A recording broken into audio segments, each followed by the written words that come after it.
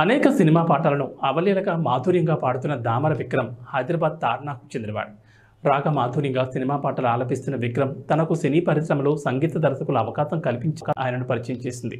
దామర విక్రమ్ తల్లిదండ్రులు తండ్రి దామర వెంకటేశ్వర్లు తల్లి అన్నపూర్ణ. తన సంగీత భవిష్యత్ అభివృద్ధిలోకి రావాలని జే సెవెన్ న్యూస్ ఛానల్ ఆశిస్తోంది. ఇష్టమైన మ్యూజిక్ డైరెక్టర్స్?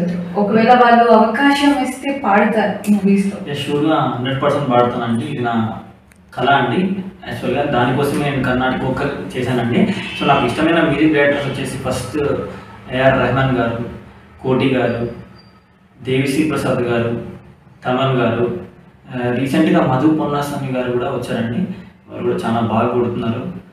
అనేక మంచి పాటలు ఏదైనా నేను ఇష్టపడతానండి. పాట అంటే ప్రాణంగా నేను బ్రతుకుతానండి. కానీ ఎవరు ఎవరు బాగా చేసినా నేను దాన్ని అభిన అభినందిస్తాను. దాన్ని నేను నేర్చుకుంటాను. ఓకే జే సెవెన్ న్యూస్ ఛానల్తో గాయకుడు విక్రమ్ మన అందరి ముందు ఉన్నారు నమస్తే సార్. నమస్తే అండి.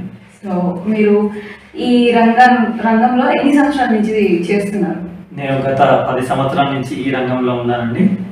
ఆ, పది సంవత్సరాల నుంచి నేను అనేకమైన కార్యక్రమాలు చేస్తున్నాను. త్యాగరాజ కృతిలో పాడాను చెన్నైలో.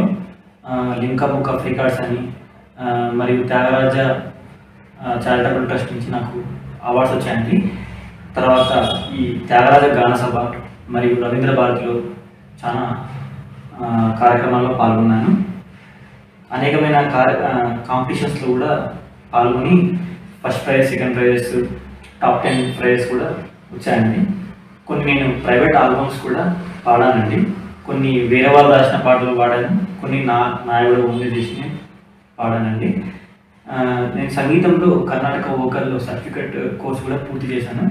నేను ప్రస్తుతం డిప్లొమా చేస్తున్నాను Karnataka music vocal okay.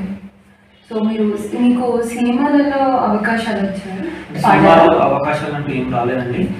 Just చిన్న చిన్న మూవీస్లో కొన్ని కోరస్ పాడడం వరకు నాకు అవకాశం వచ్చింది. ప్రై- ప్రైవేట్ ఆల్బమ్స్ అవి పాడడం తప్ప సినిమాలో అయితే రాలేదు. వస్తే తప్పకుండా నేను ఆ అవకాశాన్ని సద్వినియోగం చేసుకున్నాను పర్లేదండి. ఇప్పుడు దాకా కోరస్ దాకా వెళ్ళారంటే చాలా గ్రేట్. సో ఇంకా ముందు అవకాశాలు వస్తాయి పక్క. సో ఈ రంగాన్ని మీరు ఎందుకు ఎంచుకున్నారు? అంటే నేను మొదట్లో మాది మరి వరంగల్ అండి. అక్కడ వినాయక చవితి ఈవెంట్లో పాడేవాడిని నేను. సో అలా పాడుతుంటే మా నాన్నగారు మా అమ్మగారు వాళ్ళు చెప్పారని మేము మీరు బాగా పాడుతున్నారు. నువ్వు ఇట్లనే ఇలా పాడుకుంటా వెళ్తే నీకు ఇంకా మంచి అవకాశాలు వస్తాయి. అంటే నీకు స్టేజ్ ఫియర్ కూడా కొంచెం భయం భయం అనేది వెళ్తుందని చెప్పాడు. సో నేను ఏం చేశానంటే ఇక మ్యూజిక్ని ఒక దాన్ని ఒక కోర్స్గా నేర్చుకొని దాన్ని మనం కంటిన్యూ చేస్తే బాగుంటుందని నాకు కొంచెం జీల్ పెరిగింది మ్యూజిక్ మీద. సో ప్యారలల్గా నేను ఫార్మసీ చేసుకుంటూ సర్టిఫికెట్ కోర్స్ కూడా పూర్తి చేశాను మ్యూజిక్లో వెరీ నైస్ అండి వెరీ నైస్ మీరు సొంతంగా ఏమైనా పాటలు రాశారా?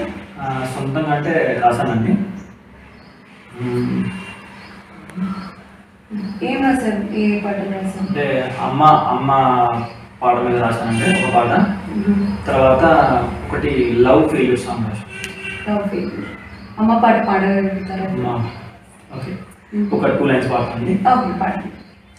అమ్మా నన్ను క్షమించు ఓ అక్క నన్ను క్షమించు ఓ తల్లి నన్ను క్షమించు ఓ నాన్న నన్ను క్షమించు అంటే బాగుంది సో పాట పాడేటప్పుడు కానీ సొంతంగా మీ రాసుకునేటప్పుడు కానీ ఏమైనా ఇబ్బందులు ఎదుర్కొన్నారా? అంటే పాట పాడేటప్పుడు అంటే మొదట్లో మనము కొన్ని ఒక టెన్ టు ఫిఫ్టీన్ షోస్ ఇచ్చేటప్పుడు మనకు కొంచెం స్టేజ్ ఫియర్ అనేది ఉంటుందండి.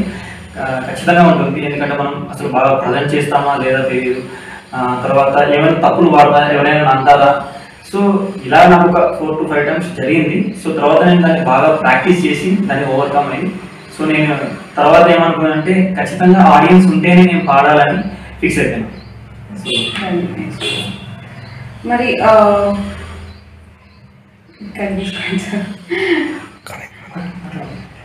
మీరు దేని నుంచి అంటే మీరు దేని నుంచి చూసి ఇన్స్పైర్ అయ్యారా లేకపోతే